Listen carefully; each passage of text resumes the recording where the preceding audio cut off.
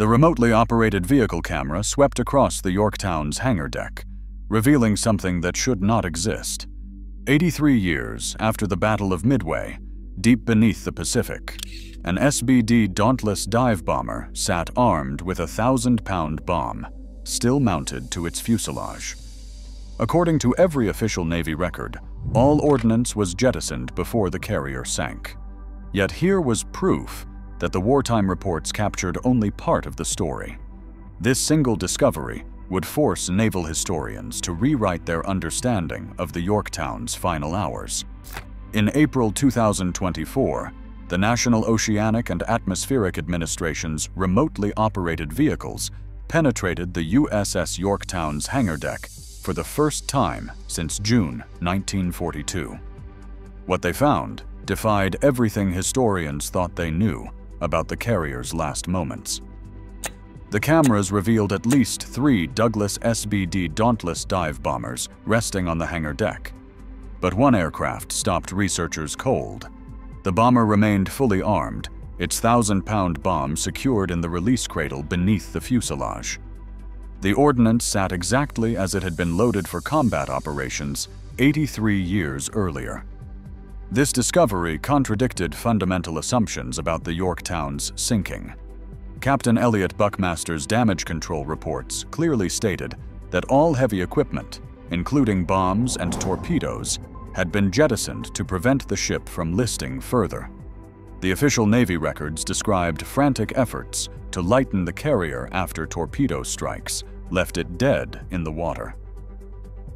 Yet forensic examination of the armed bomber revealed details that painted a different picture. The bomb's serial numbers remained visible, etched into the metal casing. The mounting hardware showed no signs of attempted removal. Most telling, the aircraft's position suggested it had been deliberately secured rather than abandoned in panic.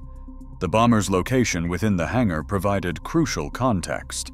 It sat near the aft section, away from the primary damage control areas where crews fought flooding.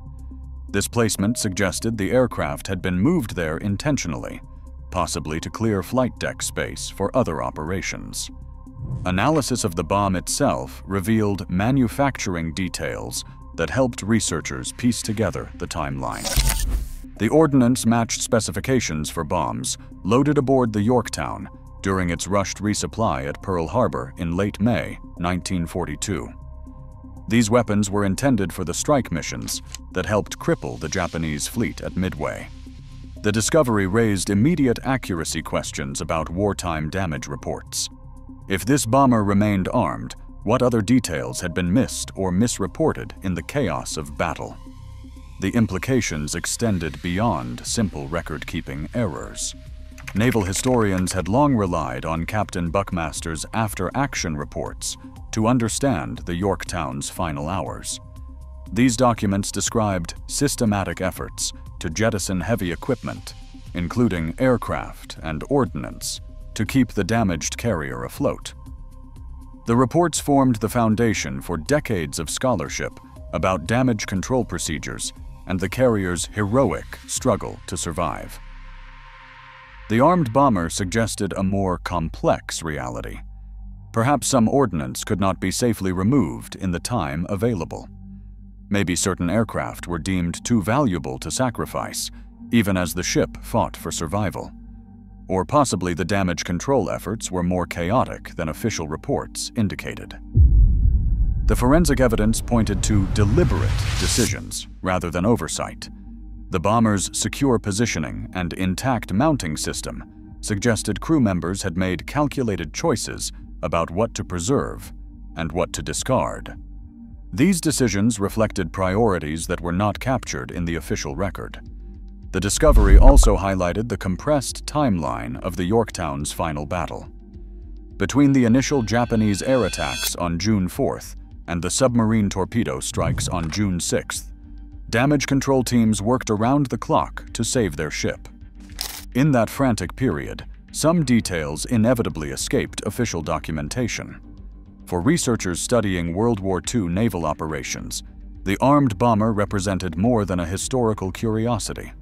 It provided tangible evidence of the split-second decisions that determined whether ships lived or died in combat. The forensic details preserved on the ocean floor offered insights that no written report could capture. The armed bomber was not the only discovery that challenged official records. Deep inside the Yorktown's number 2 elevator shaft, NOAA's cameras revealed something extraordinary, a hand-painted mural stretching 42 feet across the bulkhead. The artwork, titled A Chart of the Cruises of the USS Yorktown, depicted the carrier's voyage routes across the Pacific in vivid detail.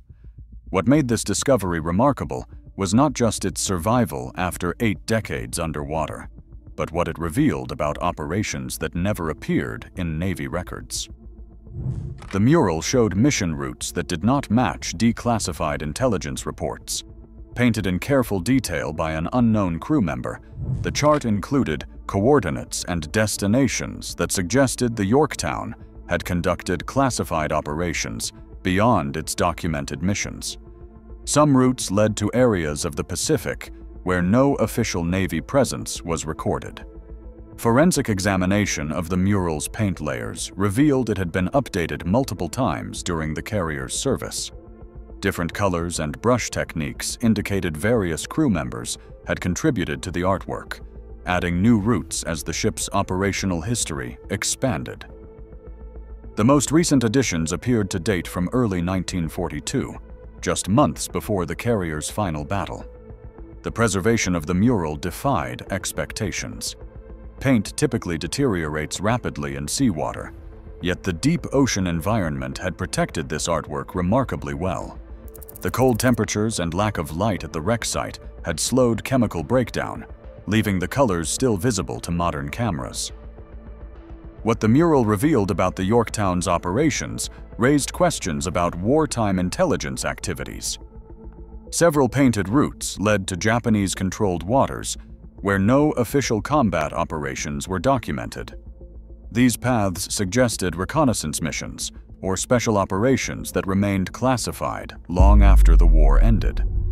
The chart also showed supply routes and rendezvous points that did not appear in standard naval histories. The crew member who painted these details had access to operational information that went beyond typical ship's company knowledge. This suggested the mural's creator held a position with access to classified navigation data Researchers compared the mural's routes with recently declassified intelligence documents from the National Archives. The comparison revealed gaps in the official record where the Yorktown's movements were not fully documented. The painted chart filled some of these blanks, providing evidence of missions that had been omitted from public histories. The discovery highlighted how much of World War II naval history remained incomplete. Official records focused on major battles and strategic operations, but smaller missions and intelligence activities often went undocumented. The mural preserved details that would have been lost forever without this underwater time capsule. The artwork also revealed the crew's pride in their ship's service. The careful attention ongoing updates showed sailors who wanted to document their contribution to the war effort. They created a permanent record of the Yorktown's travels, not knowing it would survive their ship by more than 80 years. Among the most puzzling discoveries on the Yorktown's hangar deck was a 1940 Ford Woody station wagon, its wooden panels still intact after decades underwater. The vehicle bore markings reading Ship Service Navy, suggesting it belonged to the carrier's official transportation fleet. The car's presence contradicted Captain Buckmaster's documented orders during the ship's final hours.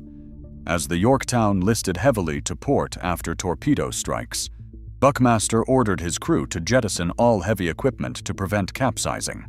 Aircraft, guns, and spare parts were thrown overboard in desperate attempts to save the ship. Yet the Ford remained secured in its position, apparently untouched by the frantic jettisoning efforts. The vehicle's tie-down chains were still in place, suggesting deliberate preservation rather than oversight. This detail provided crucial insight into the crew's priorities during those desperate hours. Forensic examination of the car's position revealed it had been carefully secured against the hangar's starboard bulkhead. The placement kept it away from the primary flooding areas while maintaining access to the vehicle if needed. This positioning suggested strategic thinking rather than random abandonment. The Ford's survival raised questions about the hierarchy of decisions during damage control operations. While aircraft and weapons were sacrificed to save the ship, someone deemed this vehicle worth preserving.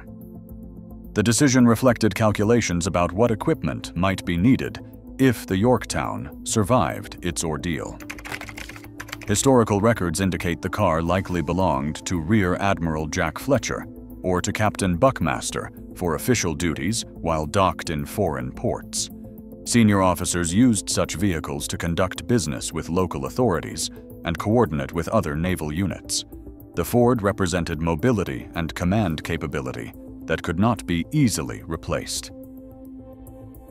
The vehicle's condition provided evidence of the flooding patterns within the hangar deck. While the wooden panels showed water damage, the metal frame remained structurally sound. The preservation suggested the hangar had flooded gradually rather than catastrophically, giving the crew time to secure valuable equipment. Analysis of the Ford's registration markings helped researchers trace its service history. The vehicle had been assigned to the Yorktown during its 1941 refit, making it part of the ship's equipment for nearly a year before the final battle. This extended service period explained why the crew might have prioritized its preservation. The car's discovery also illuminated the practical challenges of carrier operations in 1942. Naval vessels operating far from home ports needed ground transportation for essential duties, the Ford represented a crucial link between ship and shore that could not be easily sacrificed, even in desperate circumstances. These forensic discoveries prove that wartime records captured only fragments of the complete story. The armed bomber, hidden mural, and preserved Ford revealed decisions and operations that never made it into official reports.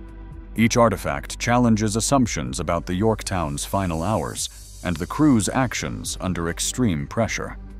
The truth about this legendary carrier lies not just in historical documents, but in the physical evidence preserved beneath Pacific waters. Subscribe to see how other famous wrecks are rewriting naval history.